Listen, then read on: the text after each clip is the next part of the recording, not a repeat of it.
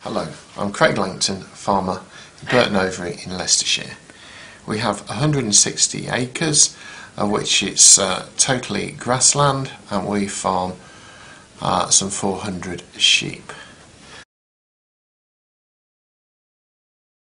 Yeah, it really takes two of us to feed the sheep. Yeah. Right. Somebody has to go with an empty bag to draw them away, and then I put the real stuff in the trough, and, Yeah. and you manage to survive.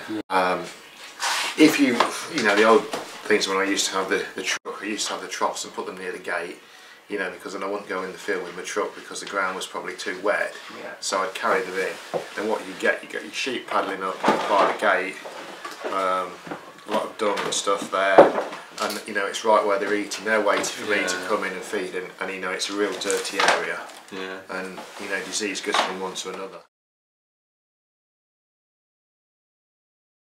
After speaking to Craig, we came up with four designs a cam mechanism, a revolving barrel with a section cut out, a wheel with a section cut out, all of these feeding from a hopper, and a simple rotating barrel.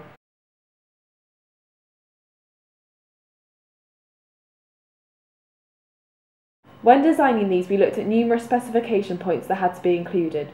The ability to stop the feed, a simple mechanism, and a durable structure so as to be able to hold the feed, all of which being important for agricultural use. Based on Craig's feedback of the previous mechanisms, we then came up with one final rig demonstrating the sheep feeding concept. From our specification, we produced a 3D CAD model, which we then translated into drawings for manufacture.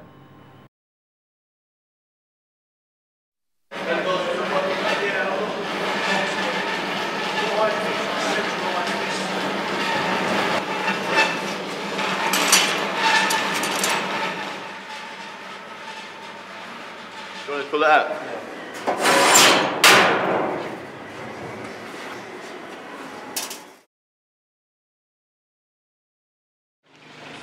students from Uxbridge came along and devised a sheep snacker, which um, feeds the, the sheep on the floor um, at equal intervals. So the sheep get fed um, much better and um, much more evenly, with less stress for the sheep and certainly less stress for me. No considerations or anything we should think about for this now, or No, I think it's great it shuts up.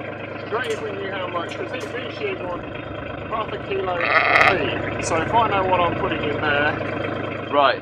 Oh, work a way of measuring how much you're putting in. yeah,